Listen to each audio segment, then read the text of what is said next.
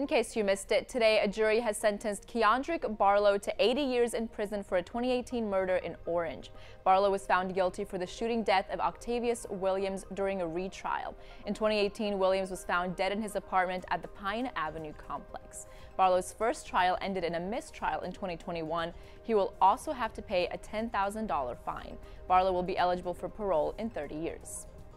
And today, a jury sentenced a man to 10 years probation after finding him guilty of aggravated robbery charges. Austin Marshall and several others were charged for robbing three people with a gun and a machete. Marshall was not accused of holding either of the weapons. Hardin County District Attorney Bruce Hoffer tells 12 News the suspects were using Marshall's car during the robbery.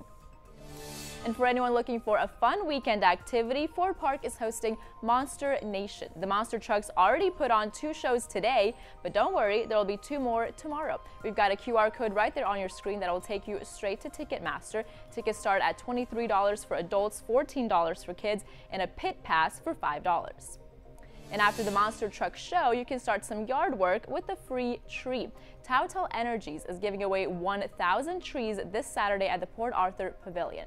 And you don't even have to leave your car. You simply drive up and choose one of the five types of trees and it will be placed directly on your car. The giveaway starts at 10 in the morning at the downtown pavilion.